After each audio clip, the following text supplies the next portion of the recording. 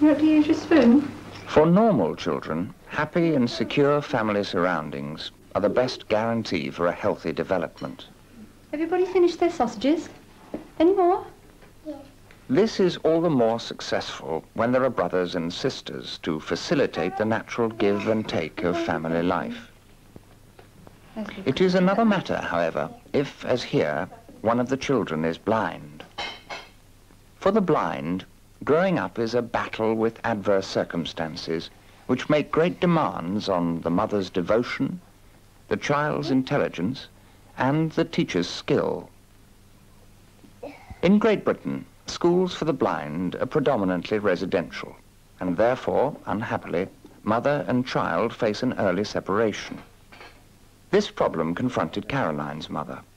I first found out about the school from the almoner at the hospital when I was in hospital with Caroline.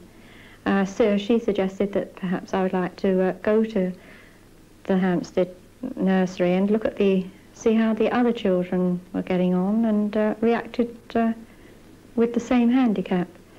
To going to the nursery, the other alternative was staying at home all, all the time until she was ready to go to school. Uh, I sent Caroline to Hampstead because um, I wanted her to mix with other children and to leave home in the mornings and uh, prepare herself for leaving me and going to school when she became five. I went with her at first, uh, every visit, once a week that was. And then from then on she built up and now she goes on her own.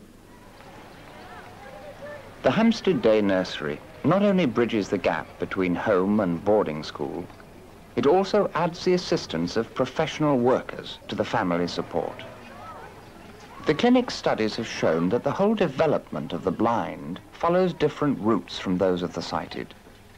Educational help for these children, therefore, is all the more successful the more clearly these differences are understood.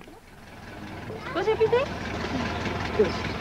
Caroline, four and three quarters, was visited at home from the age of two, and her mother was introduced to this thinking. Caroline has attended since she was three. Oh, you had your haircut, haven't you? How funny, I've had mine cut. But mine isn't as short as yours.